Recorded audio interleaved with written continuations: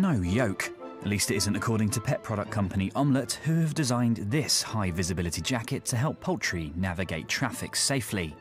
It might sound like we're pulling your leg or egg, depending on how far you're willing to take the chicken puns, but the company has already sold almost 1,500 jackets to safety conscious chickens.